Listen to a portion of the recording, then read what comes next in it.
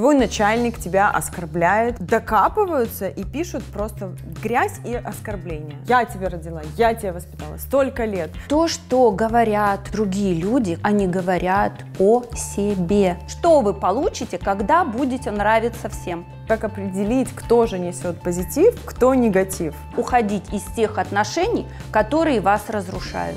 Это вообще, капец, неожиданно. Oh, yeah. Всем привет! Вы на канале Будь Гоц и рада вас видеть. Не так давно в нашу жизнь вошел новый термин «токсичные люди». Кто эти люди? Чем они нас так отравляют? Как они влияют на нас и стоит ли от них избавляться? Сегодня нам об этом расскажет Виктория Александрова. Добрый день, Наточка. Что хочу сказать касательно токсичных людей. Ну да, это модное слово, но я бы, наверное, направляла внимание на свои собственные ощущения, на то, что чувствуете вы, общаясь с тем или иным человеком. Он может быть в разной степени родства с вами. Это может быть там друг подруга, продавщица в магазине, охранник, ну, в общем, абсолютно любой человек. И при этом очень важно опираться на свои собственные чувства, что вы чувствуете в момент общения с тем или иным человеком. Либо отношения вас наполняют, и вы становитесь энергетически сильные, чувствуете свой потенциал, чувствуете свой подъем энергии, либо это нейтральные для вас отношения, либо отношения, которые снижают вашу витальность, и вы становитесь достаточно инертный, малоинициативный, ну, пассивный человек. Исходя из этой градации, и стоит выбирать себе в более частое, более продолжительное общение тех людей, которые вызывают в вас либо нейтральные состояния, либо состояние энергетического подъема. А токсичный, нетоксичный ну, я бы не рекомендовала кого-то обклеивать ярлыками, потому что это просто некрасиво. Ну, кстати, да, я помню, в нашей работе очень важно, в смысле, в нашей работе с Викторией в терапии есть очень важная штука, которая э, не сразу у меня получалась, это не оценивать людей. Но действительно есть вот эти вот э, пассивные агрессоры, которые, ну, для меня не токсичные, потому что Последний мой звонок, кстати, вам был направлен на то, что я читаю некоторые комментарии и очень близко их воспринимаю. Из всех хороших я вижу как раз вот эту пассивную агрессию, где там меня могут даже оскорбить, назвать дурой. Хотя я себя такой не считаю, но меня это задевает. вот. И опять-таки, почему это настолько среди всего прекрасного, именно это имеет обратную связь во мне? Поэтому нужно разбираться с собой. Другие люди могут делать все, что они хотят делать, потому что свобода наша личная заканчивается там, где начинается свобода другого человека. Я говорю, что обращать внимание нужно на то, что мы можем изменить. Мы не можем влиять на других людей. Поэтому тут э, предлагаю обратить внимание на то, что делать с хейтером. Не читай комментарии. Это личная ответственность себя перед собой. Если не могу, значит нужно быть готовой к тому, что там может происходить все, что угодно. И э, если какой-то момент ранит, значит нужно задуматься о том, где у меня провисающая часть, как я ее могу укрепить, на какую мою самостоятельную единицу сознания был наезд, что я испытала боль. И здесь у меня включается хорошая Наташа. Включается моя хорошая сторона, которая хочет оправдать ожидания всех окружающих. Что вы получите, когда будете нравиться всем? Высокую оценку. Что вы получите, когда получите высокую я оценку? Я помню этот квест, это невозможно. Сейчас будет 50 вопросов, в итоге я буду ответить, нет, давайте доиграем. Что я получу, когда я получу высокую, высокую оценку? оценку? Да. А, почувствую себя хорошей. Когда вы почувствуете себя хорошей, что вы получите? А, я похвалю себя. Что получите, когда похвалите себя? Блин, это всегда так. Ну, в общем, мы в итоге придем к тому, что будет ответ тогда, когда Наташа сможет этот аспект саморегулировать. Она сама себе может там дать либо счастье, либо покой, либо уверенность. И эта штука не будет зависеть от оценки, от каких-то там пожеланий, каких-то слов или еще что-то. Бог нас создал совершенными. Да, мы взаимозависимые люди, это большая ошибка думать о том, что мы сами все такие самоделкины, сами себя сделали, сами можем жить. Нет, мы часть целого. Ну, это другая история. Ну вот почему одни люди видят даже в моих программах прекрасное, полезное, информативное и пишут классные комментарии, а вот другие люди на ровном месте, как мне кажется, докапываются и пишут просто грязь и оскорбления. Ната, потому что то, что говорят, пишут другие люди, к вам не имеет ни малейшего отношения. Они говорят, пишут и чувствуют о себе. Мало какой человек это либо специально обученный, там помогающие профессии, да, либо это какие-то там святые просветленные люди, которые могут думать о другом человеке более 30 секунд. 30 секунд мы можем подумать о другом человеке и тут же возвращаемся внутрь себя. Точно, я даже иногда заставляю себя о ком-то подумать, а больше 30 секунд не получается. Не получается, поэтому все то, что они пишут, к вам не имеет никакого отношения. 30 секунд, пока они смотрели вашу передачу, да, они думали о вас, а потом они погрузились в транс и думают о себе. И вот тогда, когда они пишут, они тоже пишут о себе. Но смотреть внутрь себя зачастую очень больно. Очень больно. Потому что когда ты смотришь внутрь себя, ты сталкиваешься с какими-то своими болями, тревогами, непереносимостями, и с этим же что-то надо делать. А трудолюбие, к сожалению, не в природе человека. Поэтому они пишут вам, что вам надо сделать, доделать, доработать, собой, да. да. Но Мне... хотят, чтобы это происходило Мне с очень ними. понравилась фраза, что Бог создал нас совершенными. Это так круто, действительно. Да. Итак, что же мы делаем с негативными оценками посторонних людей для нас, пользователей соцсетей и комментариев? Важно вообще по жизни жить без ожиданий. Мы испытываем боль и страдания, потому что мы ждем, что а, на наш канал не придет человек, который нагадит. А когда ты понимаешь, что это канал, это моя открытая позиция миру – и туда придут разные люди. Вот у кого что есть, тот то и принесет. У кого есть какашки, он принесет какашки. У кого есть яблочки, принесет яблочки. У кого есть восхищение, тот принесет восхищение. И там открывается вся многообразие человеческой природы. Ну, радуйтесь, вы же служите человечеству, а оно разное. Слушайте, но это реально большие комплименты всем тем 99%, которые любят мою инстаграм-страницу, а, любят мой YouTube-канал, и это классно, потому что девчонки приходят туда с самым прекрасным и красивым, то, что они несут в себе, они передают. Очень вас благодарю за классные комментарии, и обещаю, больше не буду расстраиваться на какашке. Подписывайтесь на мой канал, ставьте лайк этой серии и обязательно пишите комментарии. Только не забывайте, каждый ваш комментарий — это проекция вас, вас самих.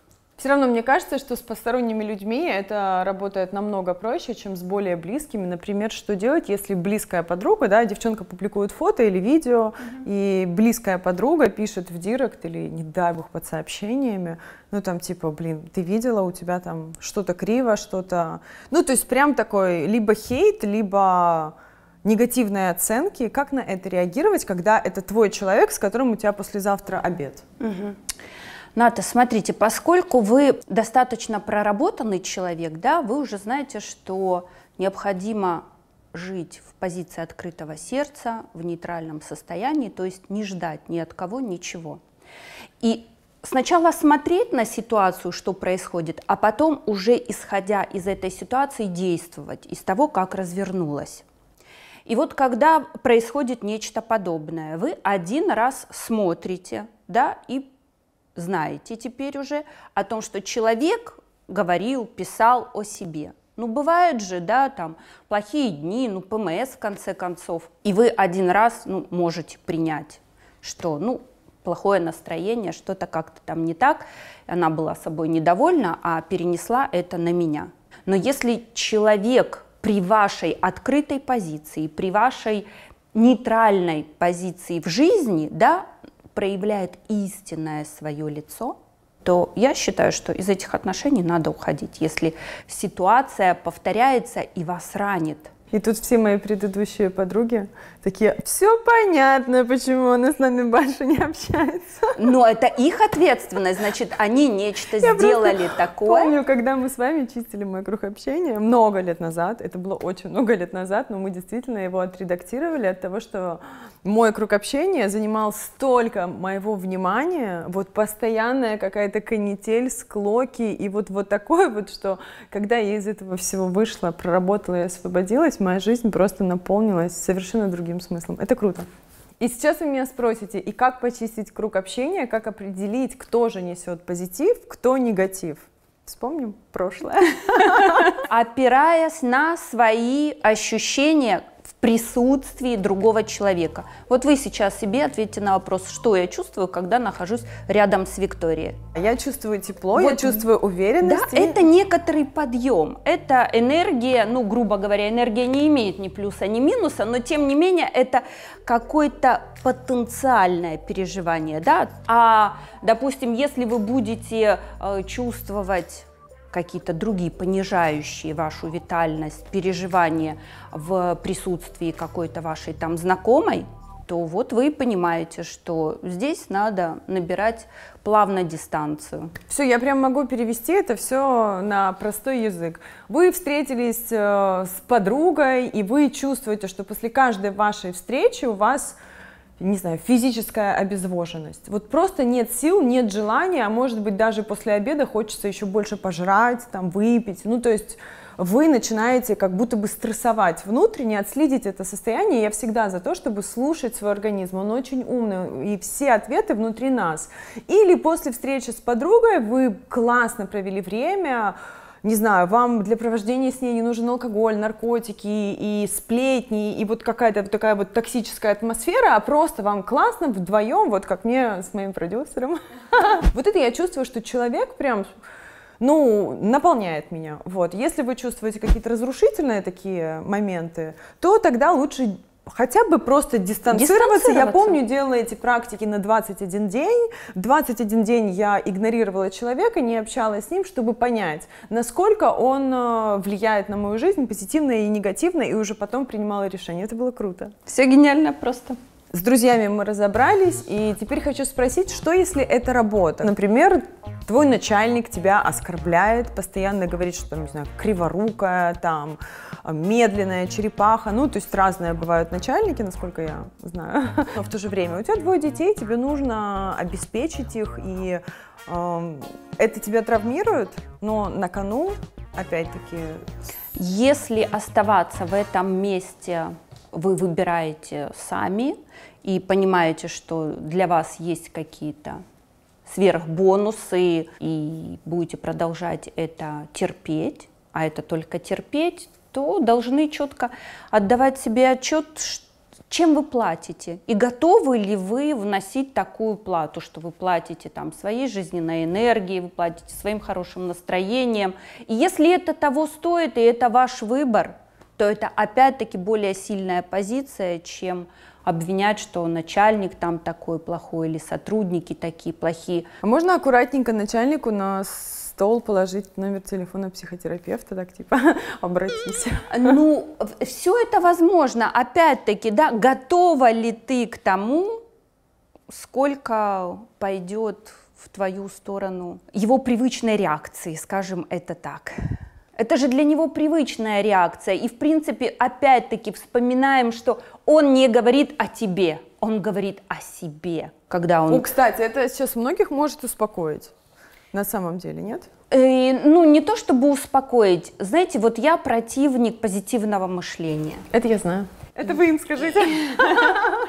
Я считаю, что очень качественно меняется жизнь, когда ты не забалтываешь и посыпаешь волшебным порошком самую горькую пилюлю, а четко понимаешь, как оно есть, берешь ответственность за свою жизнь, за свои состояния, за свои события, которые формируешь на себя и можешь что-то с этим делать, как-то трансформировать, ну, как говорят, да, становишься режиссером своей судьбы, и исходя из этого уже ты в более сильной позиции. Когда ты жертвила, ну, на тебя вот это вот все и давит, и наслаивается, и они все такие плохие, и там начальник гад, недалекий, сотрудники тоже какие-то. Не знаю, мне кажется, это позиция слабого, а мне хочется, чтобы в мире становилось больше счастливых и сильных людей. А, Виктория, есть ли такая закономерность, что жертва всегда найдет э, своего тирана? Конечно, это же сладкая парочка Твикс, они же друг без друга вообще никак не Я могут. на самом деле хотела задать этот вопрос, когда бы мы перешли к э, мужу и жене. Ну, потому что здесь это просто в отношениях, это, мне кажется, просто закономерность.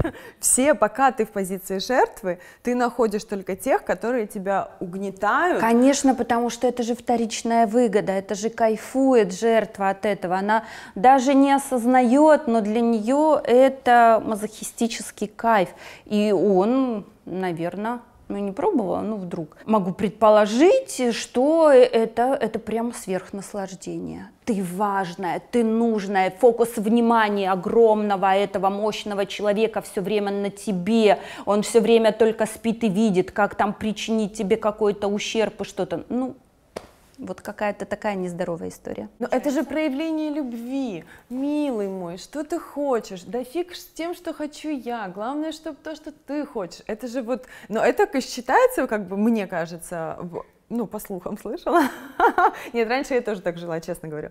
Что это и есть проявление любви, показать, что ты готова на все ради всего. У меня буквально вот на днях был Ну, разговор. а это же позиция жертвилы. Это вот хочешь приносить себя в жертву, это твой кайф, ты получаешь от этого удовольствие больше, чем от того, что ты живешь собой.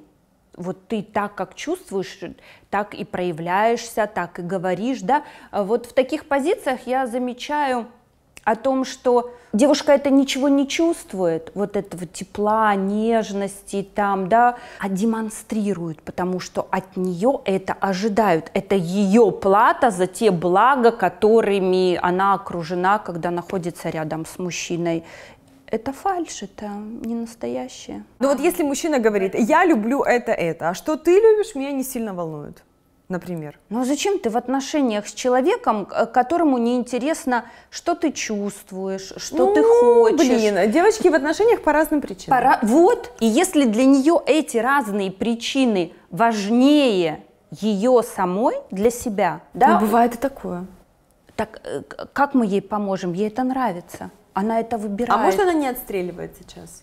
Вот Значит, сидит- надо подождать, пока придет время. Ну нельзя насильно помочь человеку. Ну вот Ну да, это, как кстати, главный, крути. главное э, условие психотерапии, что в психотерапию нужно приходишь с запросом и говоришь, вот у меня такая-то ситуация, я не могу то-то, либо у меня болит вот это, либо там, ну что еще бывает? Ну что, ну я несчастна, я Да, я несчастна, я не чувствую себя да, я счастливой, я во- про- вот не это хочу вот просыпаться. Я помню, когда не чувствовала себя счастливой, я спала до 12 пол первого, потому что я не хотела, чтобы наступал каждый новый день. Сейчас я просыпаюсь в 5.30.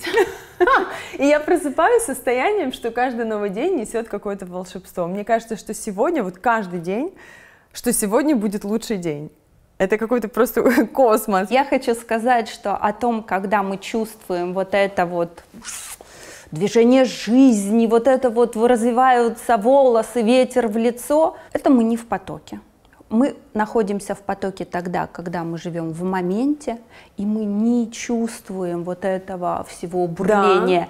Вот ты здесь и теперь, и тебе классно. Вот ты чувствуешь свою попу, ты чувствуешь э, свою душу, да, ты чувствуешь там свое лицо, настроение, все. Вот это ты чувствуешь. Вот значит, ты в потоке, ты синхронизирован с пространством, со своей природой, и тебе кайфово.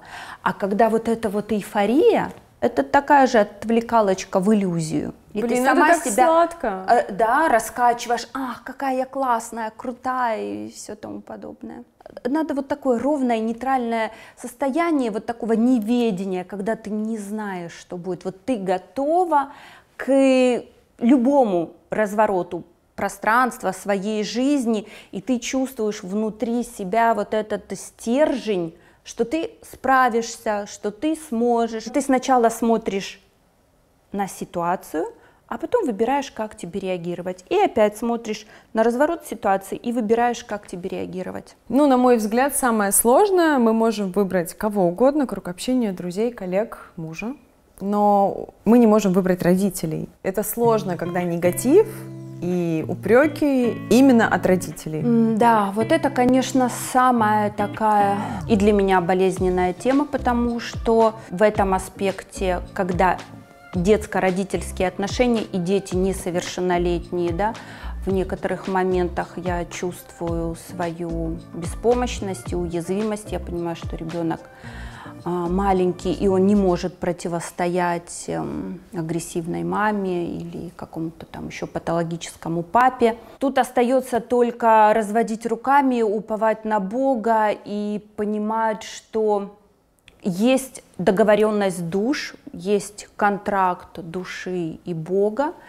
И если душа этого ребеночка пришла к этим родителям и до определенного периода ребенок не может дистанцироваться от э, таких родителей и нет в его окружении, кто бы мог быть для него защитой, там бабушки, дедушки, опекуны, кто-то, кто будет защищать, защитника нет, то это, конечно, для меня, как для терапевта, огромная боль, потому что, да, такие случаи бывают.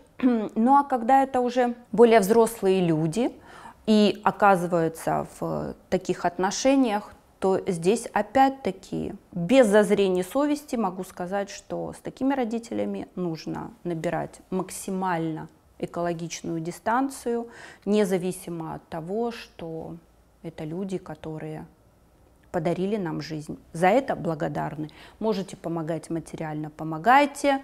А, хотите забыть, потому что слишком больно находиться рядом с такими людьми.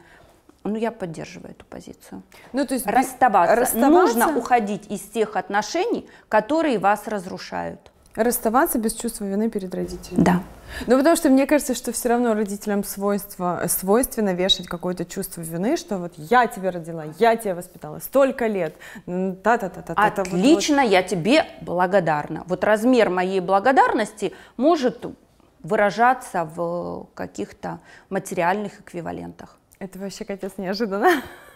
Вы часто говорили о том, что нужно дистанцироваться экологично. Угу. Вот как это сделать на конкретном примере? Вот звонит, э, допустим, к девочке ее мама, да. которая связано у нее с э, воспоминаниями из детства, либо с текущими оскорблениями. Может, она звонит, слышь, ты дура, ты там это сделала, это сделала. Вот что и делать? Не брать трубку, уйти из дома, если это подросток. Какой-то или... вот такой прям э, готовой схемы, да, готовых рецептов. Я ж не рецептурщик. В каждом отдельном случае мы подбираем нечто особенное, подходящее под э, текущий момент готовности к изменениям клиента. Да? Вот из этой готовности мы и подбираем необходимые меры. Либо сразу вот, да, доходит до того, что ну, вот полностью обрывается связь, короткие смс только от ребенка э, своим родителям, там, со мной все нормально, 3 числа переведу тебе столько-то.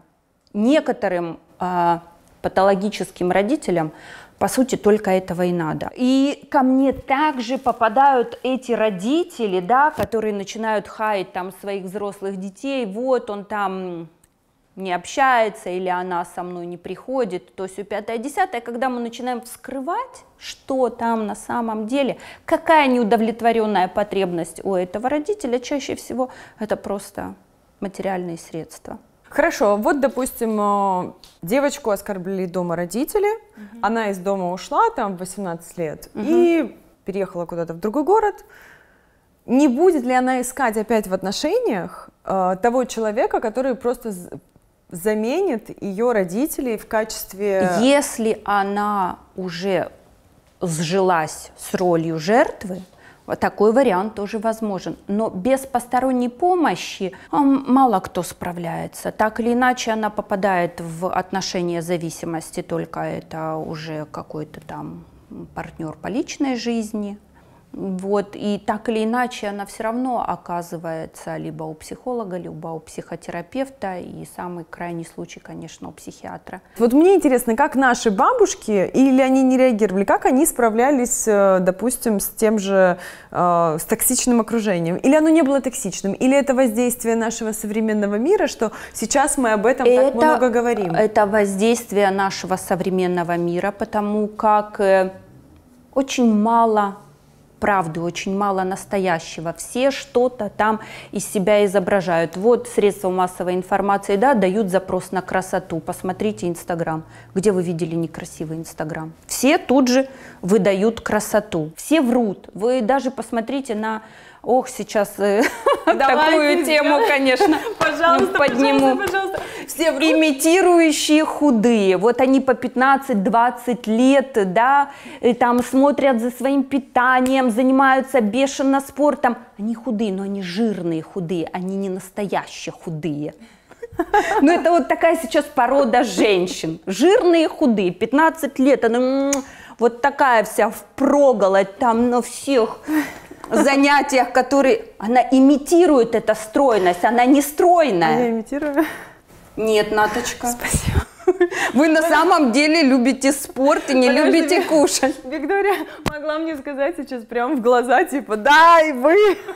Надеюсь, вам была полезна эта серия. А, пишите обязательно комментарии. Я уже даже не знаю, говорить, буду я их читать или не буду. Я своего брата отправлю, он почитает комментарии.